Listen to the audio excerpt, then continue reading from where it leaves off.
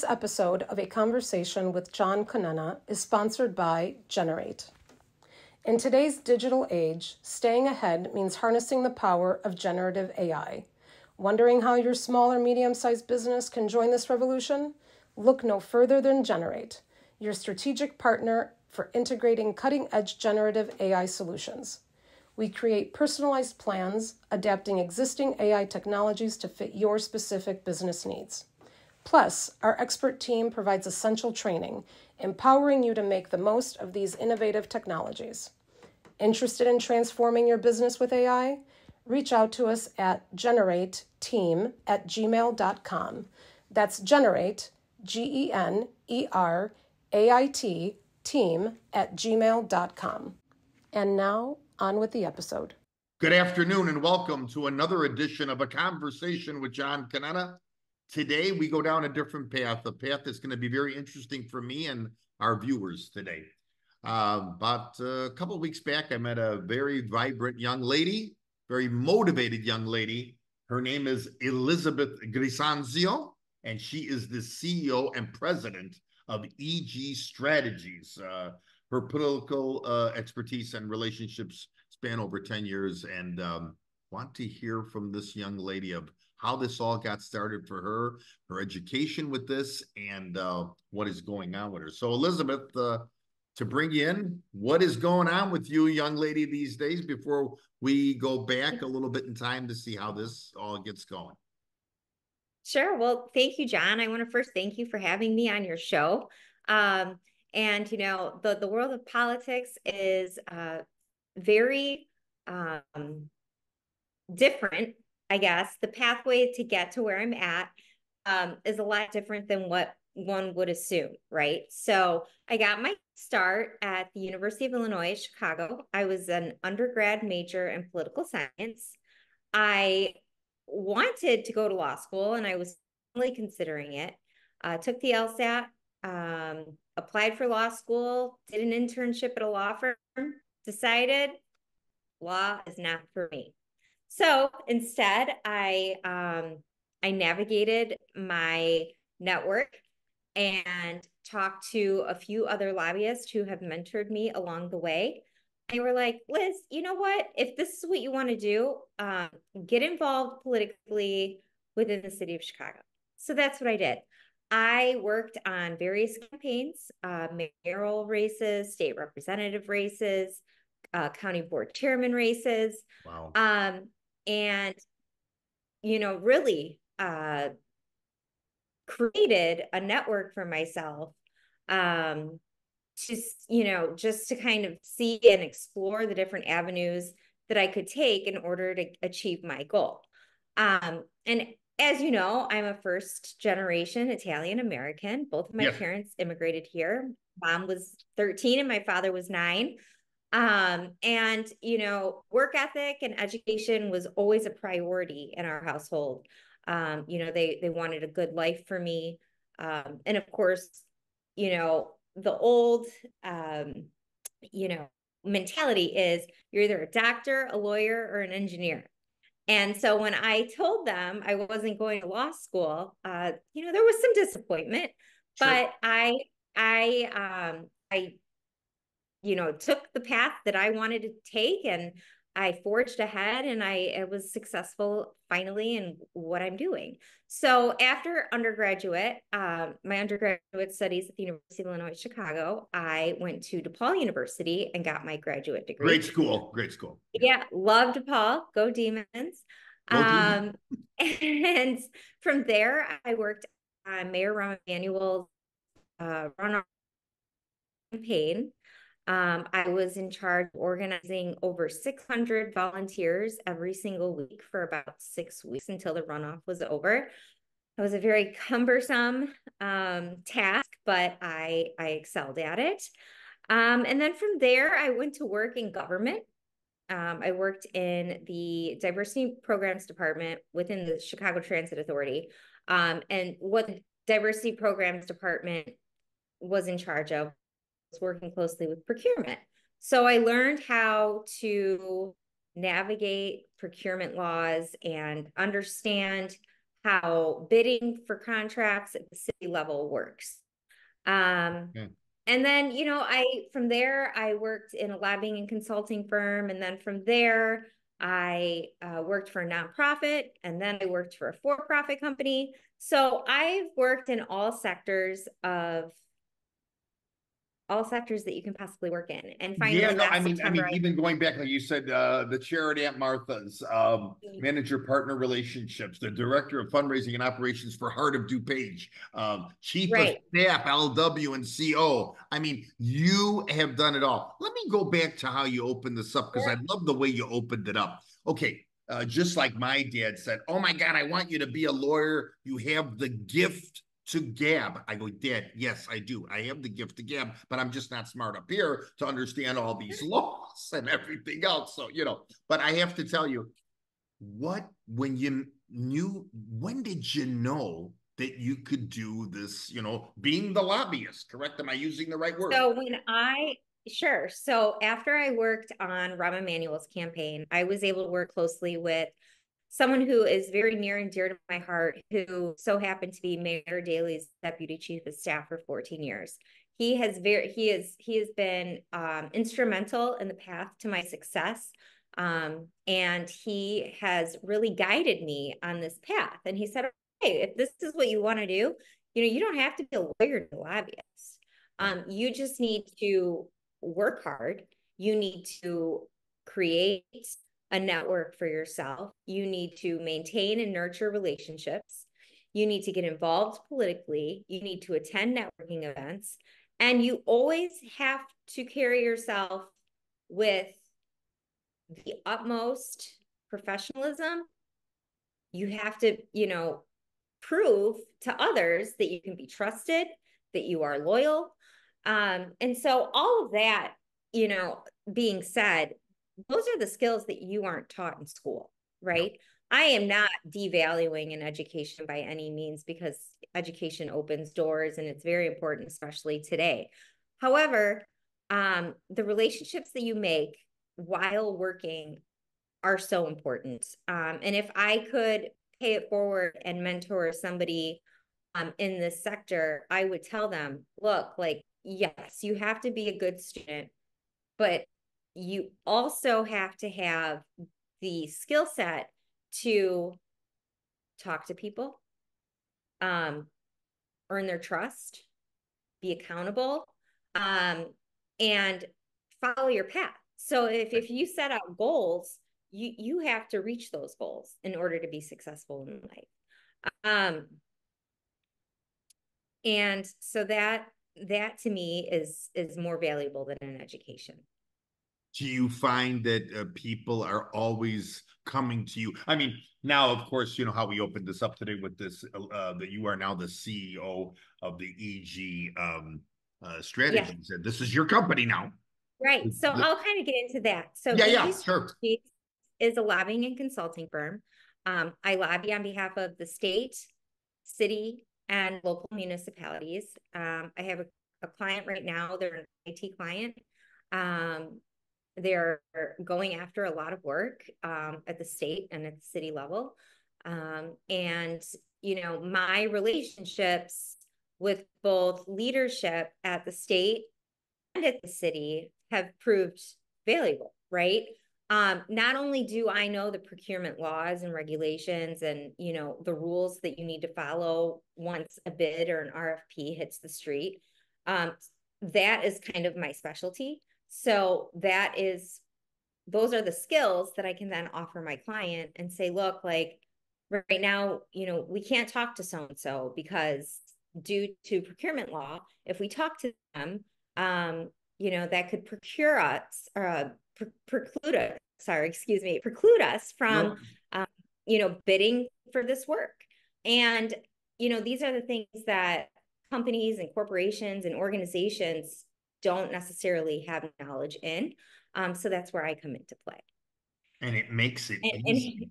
And I am right. And I am like the bridge between the client and the the state, the client and the city, or the client and the local municipality.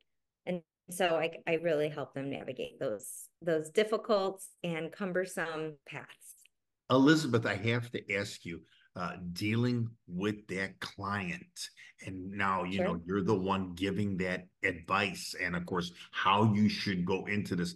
Um, is there the struggle between you and that client? Uh, you sure we want to do it this way? The, there, there's a lot of that word strategy is big, like we use it in sports. We have to be right. sure what we're going into with the plan, correct? Right. So that's where my relationships with my colleagues um, who are also in this sector um, and who work in this world and who have been very successful in this world for a very long time um, come into play. Right. So if I'm ever unsure of myself, I, I, I don't just pretend like I know what I'm doing. I do my research. I call a friend. I ask them for advice. I say, hey, look, you know, we're looking to do X, Y, and Z. Here's what I'm thinking. Is this correct? And based off of, you know, their experience and, you know, their um, history with this type of work, they then offered me advice. And, you know, I'm I'm lucky to say that I have those people in my corner that I can rely on when I need to ask them for a question. Um, but with that being said, that goes back to forming your networks and maintaining and nurturing relationships because you know one can say that they're lucky, but you're a person isn't just successful because they're lucky. They're successful because they put themselves put themselves in situations to succeed, right? right. And it's work. It's every single day. And and my job isn't you know your typical nine to five job. I mean there there's times where you know there's a 911 fire drill and i am working until midnight. Or my client calls me at 10 30 p.m with um, an ask and you know i pick up the phone because that's what i do and i don't say no to my clients. And um and that's important too know you, you have to be able to be relied upon. You know what? I thank you thank you for bringing it up that way. I have to tell you um you know sometimes i paint a picture on social media that oh this family went to the caribbean and everything went fine. But what you just said is so important. It's because i think people will say wow elizabeth grisanzio answered her phone or her email at 10:30. What okay. is she going to do to fix this? I've had a family member tell me once, "What are you doing answering your phone at 10:30?" Yeah. Oh, I get that all the time. Yeah. But that is fantastic the way you put it because now that client, tell me if I'm wrong, is going to remember Elizabeth Grisanzio down the road, correct? Yes. Yeah, I'm I'm available at all hours. I, you know, I get phone calls. I'm one that I'm very robotic and very much so routine based and structured, um, where I have a very consistent schedule every single day when it comes to working out, waking up early, you know, eat, having time to eat my breakfast, you know, saving some time for myself. Um, but I'll be in the middle of a six mile run and my phone will ring it'll be 6 30 a.m and i pick it up. Right. You know? Um and i think that once you develop relationships like that where you are looked at and perceived as accountable and responsible um that's where further success comes into play. For sure for sure question for you because I admire anybody that's doing how you did this. Meaning, uh, 50 some odd years ago, almost 60 years ago, my dad opens up this travel agency and I, he scratched my head sometimes and I say, wow, how did he do this? This man with the, you know, uh, who had an education here in America, you know, he came here young, but what made Elizabeth Grisanzio say, hey, you know what?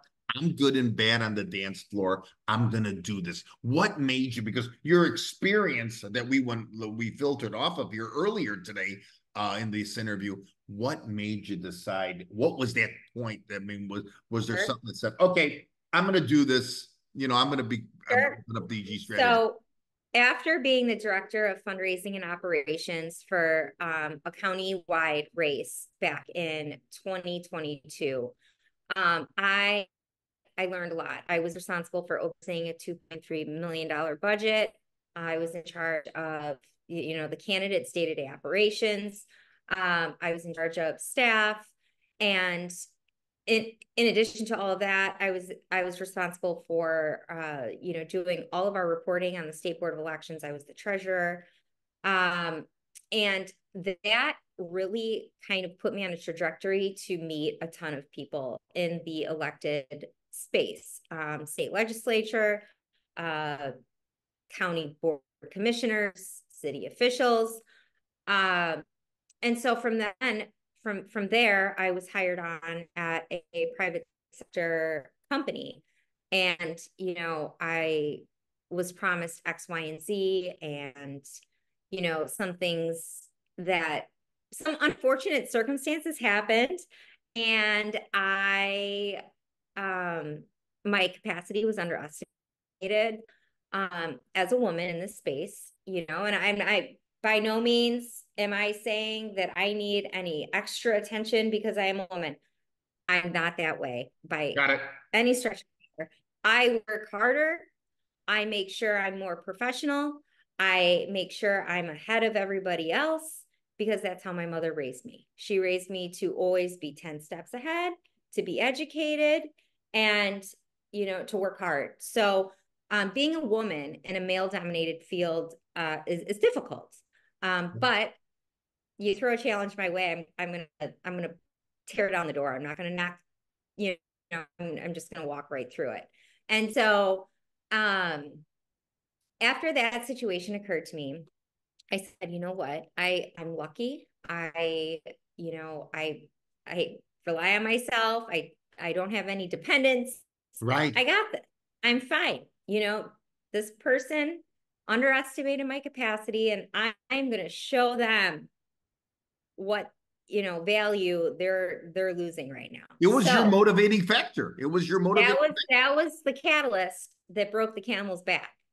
And um, so I took the summer off last summer. I traveled to Italy. I went to Greece. I I lived my life thoroughly to expectations that I didn't think I could live. And came back in September and I said, All right, this is what I'm going to do. I'm going to launch this. I'm going to start my company. I filed my paperwork and I I got a client right off the bat. And we've been, you know, very lucky. Uh, we've we've done a lot in the past year and I, you know, I very successful at, at this point in the game when it comes to looking at what I've done in the course of the year after starting my business. So it's something that I've always wanted to do. And I think that, you know, unnecessary, unfortunate circumstances may have pushed me um, to excel and to reach the goal that I didn't, didn't think I was going to reach until I was 40 or 45. No, so, yeah, what you're very young and what a great time to start this. And so you've only been at this at since 23 but of course the beauty here is well experience. independently yes. Yeah yeah yeah yeah, yeah. the experience of all these places that you've been to and i'm sure you're well recommended you know for a lot of things i like am. that. yeah. I am. And that's another very important factor that you bring up in this field of work. You know i i've my client is a, a global entity. So that they they do work here in Illinois. They also do work all over the country as well as internationally. Um, so they're a very well-known company. Um, I can't get into their name or the details, but understandable. Um, just because a non-disclosure agreement. But sure. um, you know, it's there's something to be said about that for them to bring me on as a rookie lobbyist um, says a lot because I am perceived as someone who is a hard worker, who has relationships, who's able to get things done. Um, and is a hard, I'm a hard charger. So, you know, you give me a task and I, I get it done. I don't let it pile up on my desk. I, you know, I, I get these action items off because there's always another action item behind that action item. For sure. I have to ask you because um, you know, the political landscape in Illinois is very complicated. As if anybody knows, it's you. Okay, it's it's you. Yeah. So you have to be prepared for the client and what he's looking for, correct? I mean, you're you're doing homework at both ends. Right, right. Um, and unfortunately, you know, it, it, it's tough, right? Because as a lobbyist, you have to advocate on behalf of your client, and their best interest is is at hand at all times, right? So sure. if that means supporting X candidate over Y candidate um, during a certain time of the year, if it's an election year, if it's not an election year, you have to be very strategic, right? Because sure. um, you know, you want to be able to work both sides of the aisle in order to get what you need done for your client. So you have to have relationships on both sides. It's very important to be bipartisan, especially in this space. Sure, without a doubt. Okay, and a question for you. Um, with the the procurement, you find that the, I mean, the it's is it always? It's definitely always different, correct? Sure. So procurement's very, very um, complicated, right? Yeah. So with certain any government contracts um, that are put out for bid have specific um, details and qualifications, right? So, for example, if you're an engineer and you're bidding for work at the city level, you know, there's specific paperwork that you need to include in your application. There's specific diversity, small business enterprise, minority owned business uh, requirements that you have to fulfill.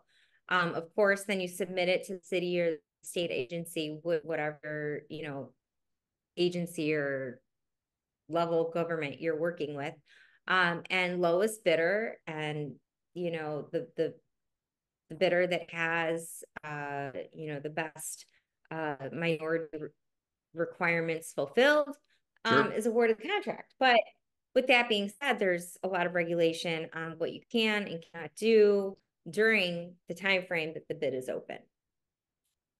Exactly. Okay. Okay. How long do you think from no? How long do you think from start? To, what's the average in your mind? Have you noticed this now since you started this? In the average, how long does it take with each client? I mean, this could take how long? I mean, uh, you know, our. Well, I mean, so here's here's an example, right? So yeah. the state could put out an RFP in July and say it's due September 1st. All right. So, you know, your client is like working diligently to gather all of their paperwork and the necessary items and get their subcontractor lined up so that they fulfill the, you know, minority requirements and then the state comes back and says, all right, well, we're going to extend this out. Instead of being due in September, now we're going to push it out to November. And then, so then you submit it, no, you know, you resubmit in November and, you know, it takes a couple of weeks for everybody to kind of go through your application and to look at all of the other applications and determine if all of those boxes are checked to determine who the actual awardee is for the contract. Um, and then, you know, if you're awarded the contract, you have a 14 day grace period where somebody could protest that contract. So then, say somebody protests the contract, then, you know, they cancel the contract. So then, if you were awarded the contract, then somebody protested you, the contract is revoked. And then sometimes the bid is canceled. And then sometimes the bid is canceled and rebid. So, I mean, this it doesn't you can't really put a time frame on an individual contract. It they're all be, different right they're all, all different and you're working with several different agencies you're working with different leadership individuals within those agencies um, so it gets it gets complicated. You know and if you don't have and if you don't have the relationships to um, kind of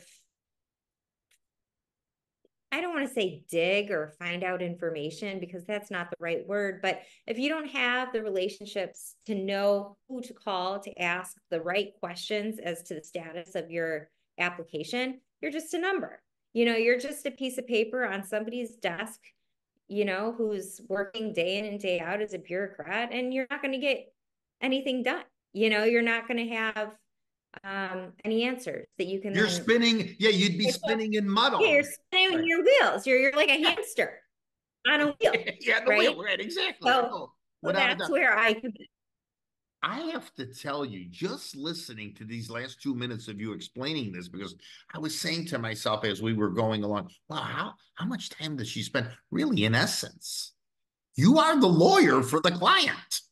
Because, well, I'm not the lawyer But I'm I don't saying- have a law degree, but Yeah, you know, the, the the lawyer, same when he has to hear about a, lawyers, a case or something, has to, it could be continued or it could be pushed back. And you are using the same terms and terminology. And I'm sure, you know, now you got to go back to that client and everything else. Uh, Right. ju- ju- just amazing that, you know, here we were talking about, hey, I want to become maybe a lawyer, but really, in essence, you are the lawyer for the client. Well, I'm helping the legislator make the laws, right. right? Right. right I'm advocating on behalf of my client for that legislation to either get pushed or, you know, to be amended or whatever it may be. So I get the best of both worlds. I don't have to go to school for all of those years, Right. and I don't Right. have to- Right. you know, do all of that, but I still have the ability to make an impact. And um, that brings me to, to another thing. Um, having the ability to pick and choose who I work with and who I support and advocate for as a business owner, um, to me is the best part about my job. I don't have somebody on my back saying, all right, you need to do X, Y, and Z for this person. Because sometimes you don't always believe in what X, Y, and Z is doing, and you don't want to be involved with what Sure. they're doing.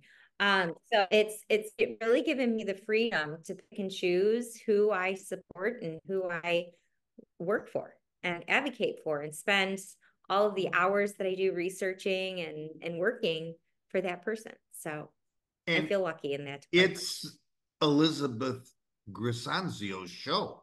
This is her. This is yeah, her. it's the Elizabeth, it's the Liz show. Yeah. It's the Liz show. no, but I mean, Yeah. you hey, you're gonna either make it, like my father used to tell me, either you're gonna make it or you're gonna break this place. It's up to sink you. or swim.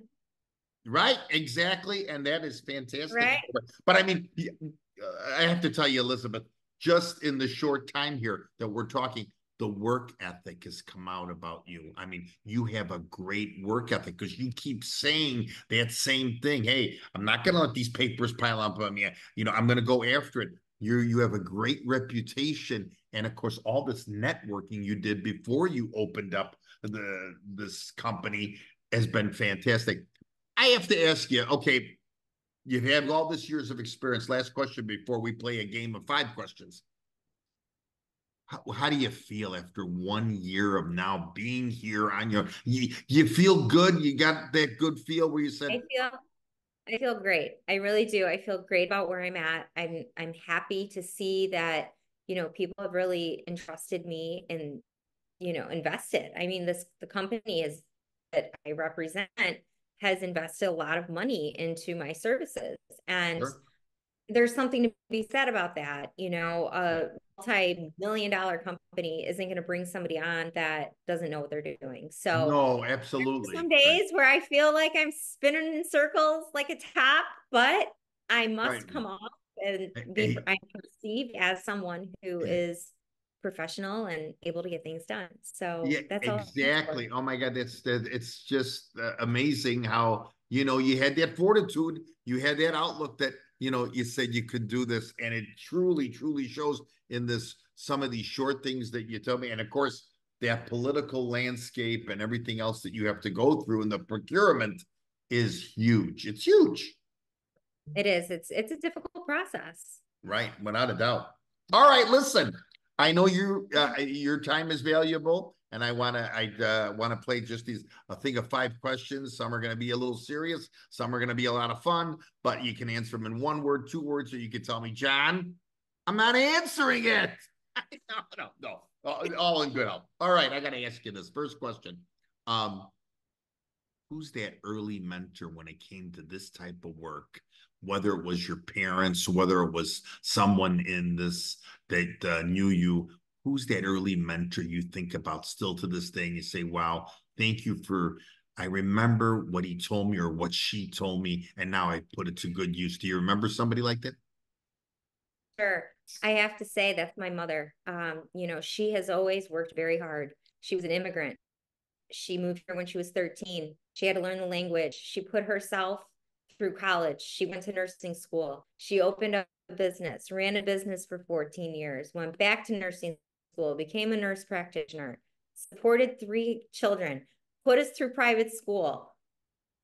The woman is still working and she's never going to retire, but she has taught me an invaluable lesson in life that no matter what, you have to work hard and you have to de- rely on yourself and you have to be independent and stand on your own two feet. And education is power because it's something that nobody can ever take away from you. Um, so I got to give all credit to my mother there. Sure. Have there been people along the way who have guided me down this path? Absolutely. There's been several.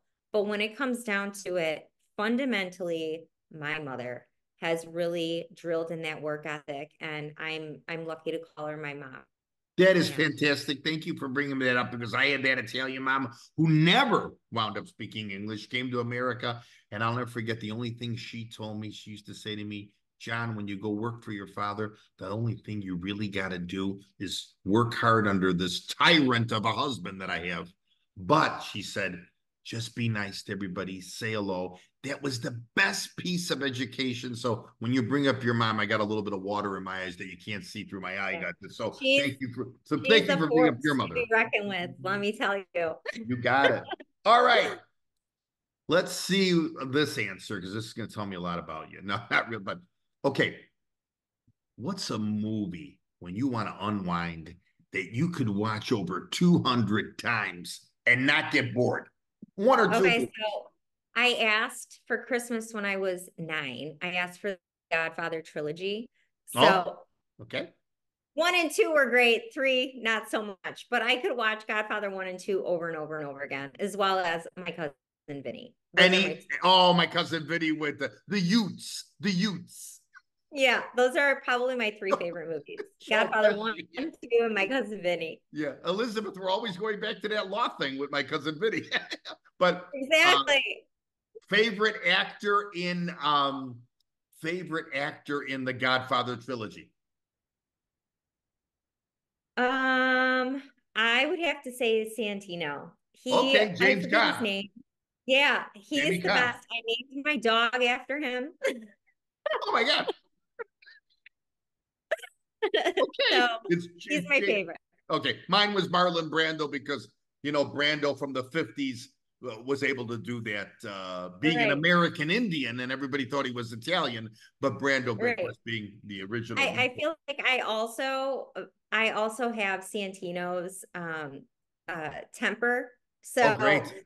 Yeah. thank, thank God this is over in five minutes. no, no, no, no. Okay what's that go to restaurant that you want to get all decked out in? And if it's a man or you want to go out with your girlfriends or whatever, what's your one? I'll give you two because nowadays we got to watch what we say, but what's that favorite restaurant where you say you've had the great day at the EG Strategies?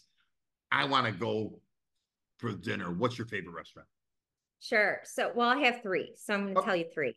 Uh, Piccolo Sogno is one of my favorite on Grand Avenue in the city. Yes. Um, I love their patio. It's spectacular. It's there. My second favorite is, of course, it's Gibson's. Like, who doesn't love a good steak? Of course, my over favorite, there on Rush or the one in Oak Brook. The one in Oak Brook is perfect. I love the one on Rush Street. Um, I can say four. Bellevue is another favorite just because it's really bright. The old tavern on Rush. Okay. Um, and then if I were to pick a place in like Melrose Park, Elmwood Park, I Donnie G's. I love the live music at Donnie G's. Over here, right by my office. Yeah. Yeah, it's the best. Not too far. So those, well, those you know what? You've picked uh, four uh, good ones for sure. Yeah, you're you're spot on. So that's a good one. Okay.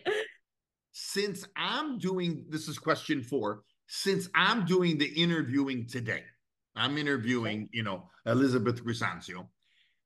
who's somebody somewhere down the road or even in your past could be a man could be a woman whatever that you would like to interview? I know your answer. I know you want to interview me but who else would it be?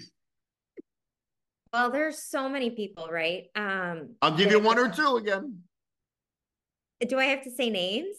Well yeah i mean uh, it could be a an actor. It could be a your friend. I mean, yeah, if you don't mind. I mean, if you don't want to. okay, so I guess I would like to interview. Um, not to get political or anything, but if I had the opportunity to visit Mar-a-Lago and have a sit down with our past and hopefully future president Donald Trump, um, I would be delighted to pick his brain on his um, successes, on his failures, how he's overcome his failures. Um, I think that he is a man that shows what hard work and you know dedication to their businesses uh you know basically provides for future you know ventures i mean the guy has successfully opened closed thousands and thousands and thousands of dollars worth of real estate and yeah. you know has been successful and runs and operates these businesses on a day-to-day basis and all of his properties are incredible. So i would really love the opportunity to sit down and talk to him one day and hopefully that day is soon. I have to tell you um every time i look at him let's say from even the days when he was the real estate guy in New York to when he was yeah. on a show called, I think, The Apprentice. The Apprentice. Yeah. yeah. When he would look at you straight in the eye and he would say, John, you're fired. You know, yeah. There's always this same demeanor to him.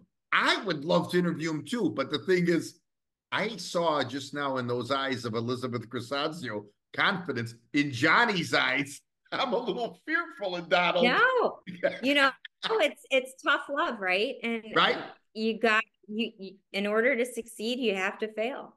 Exactly. So exactly, you can't get A pluses all the time, and you can't no, be a winner no, all the time. You can't. You know. No, good point. Uh, Otherwise, you don't learn. Yeah, exactly. So. Good, good point. Okay, last question, and then I got to say something about you before I let you go. Last question: What's in that future because I think it's going to be bright for the president and CEO of this uh, EG Strategies, Elizabeth Grisanzio. Where does she see herself five, ten years from now with this so company? I see myself um, having the ability to lobby at the state, local, and federal level. I would love to be able to to lobby um, in DC someday. Um, so, you know, that obviously there's a lot of building blocks they have to do in order to get there, but you know, like I said earlier, if I have something in my head, as long as I put my mind to it and follow the necessary steps to get there, I am confident within myself that I'll be able to accomplish those goals. That determination that you've shown throughout this whole interview. Okay. There's something I want to say about you. And I was looking basically for about, since I met you that day, about a week to 10 days when I was doing the research on you. I says, geez, I, I want to find something what Elizabeth about in this short time that I've met her and it stared me right in the face. And I got it. Um, we talk about strategies, we talk about the political landscape, we talk about procurement and everything. The slogan here is EG strategies will get the job done and lead you to success. But you know what? It's Elizabeth Grisanzio that, of course, is behind the EG strategies that's going to lead us to success. Elizabeth, you keep doing what you're doing and this was a pleasure. And I really thank you for coming on a conversation with John Conenna. Well, thank you for having me, John. I really appreciate it. Anytime.